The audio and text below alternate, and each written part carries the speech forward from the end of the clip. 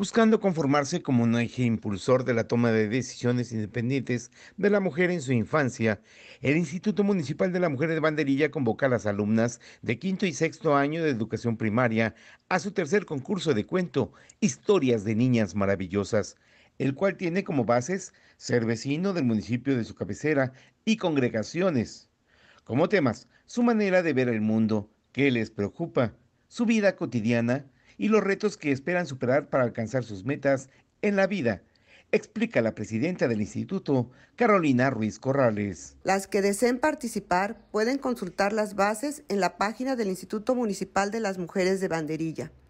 Con este concurso se busca que el género desde temprana edad se empodere expresando su fuerza y capacidad literaria. El límite mínimo y una máxima de tres cuartillas para cada trabajo que se presente al concurso debe enviarse al correo electrónico immbanderilla.com y tendrán hasta el 11 de octubre como fecha límite para enviar sus trabajos, en lo que deben incluir nombre completo de la autora, nombre completo de la escuela, número telefónico y nombre del padre y tutor contacto, así como su dirección.